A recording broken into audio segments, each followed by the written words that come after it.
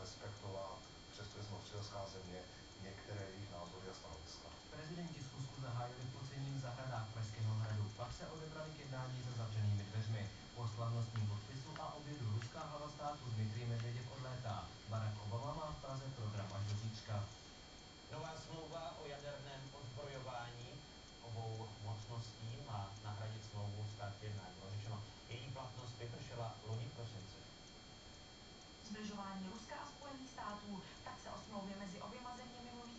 v celosvětovém kontextu. Arzenál obou zemí se má snížit na 1550 jaderných hlavic a klesne i počet rozmístěných nosičů. Ten Obamův přístup je revoluční změnou. Je to definitivní konec studené války, protože až do posud trvali američané na tom, že budou mít právo použít jaderné zbraně jako první. Tohle je v podstatě jedna další schůzka uh, představitelů Ruska a Ameriky, která směřuje si možná tedy, jak chce Obama, světu bez jaderných zbraní, čemuž nevěřím. Sedm let teď mají Spojené státy a Rusko na to, aby svou jadernou výzbroj omezili o třetinu. Přesto budou mít obě supervelmoci podle odborníků takové vybavení, se kterým by se dokázali vzájemně zničit asi tak 13krát. Všichni ostatní, kteří by chtěli zneužívat jaderné zbraně,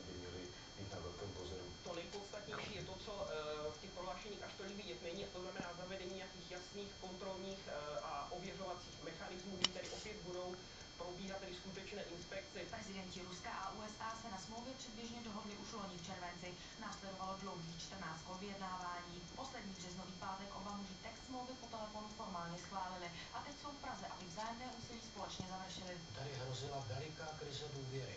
Pokud by američané s Rusy nepokrčili, tak by to mohl býval být i konec celého toho procesu kontroly jaderných zbraní. Smlouvu musí po podpisech prezidentů ještě ratifikovat americký senát a ruská duma. Pokud ji nevystřídá nový dokument, bude platit 10 let. Podle ruského ministra zahraničí Lavrova si ale Rusko vyhrazuje právo odstoupit od smlouvy, pokud by americká protiraketová obrana ohrožovala ruské strategické jaderné síly.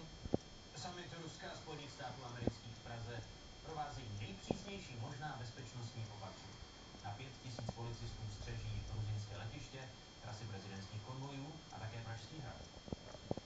Podobná bezpečnostní opatření snad Česko ještě nezažilo. Na jeho území budou dva nejmocnější muži světa, americký a ruský prezident. Česko to přijde na 40 až 50 milionů. Do akce je zapojena i armáda nebo útvary rychlého nasazení.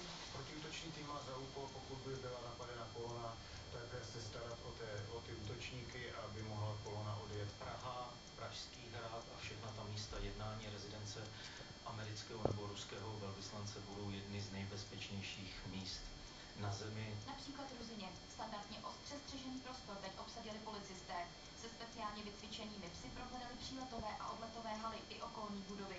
Letiště hlídají v okruhu 4 kilometrů. Aby nebylo možné e, využít nějakých prostor k uložení nástražného výbušného systému, aby nebylo možné z určitých vzdálených prostor zaútočit na ty osoby, případně zaútočit na letadlo jako takové. Strategická místa monitorují pyrotechnici i ostřelovači.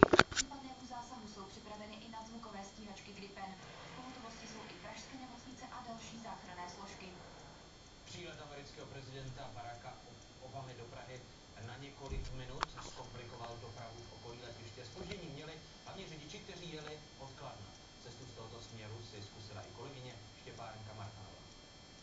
Lidé, kteří cestují z okolí Kladna do Prahy, jsou na spoždění zvyklí, buď kvůli nehodám nebo zácpě na Pražské Evropské ulici, příletu amerického speciálu, ale většina z nich způsob dopravy neměnila. Jeďte ve čtvrtek ráno vlakem, radili dopravci cestujícím, většina z nich ale tuto možnost nevyužila.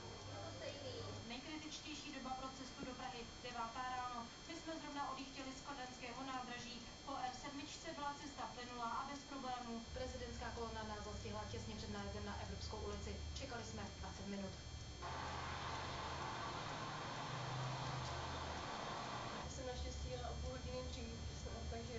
to všechno stihneš. Já jsem se vyběhal a viděl jsem, jak projížděli, ale že by to bylo nějak zajímavé, vůbec zase nepřišlo. Já jsem s tím počítal, že jako budeme čekat někde určitě. No. Cesta autobusem z Kladna do Prahy trvala místo 45 minut 68. Na konečnou do Dejvek jsme dorazili v 10 hodin a 2 minuty. Štěpánka Martanová, Česká televize.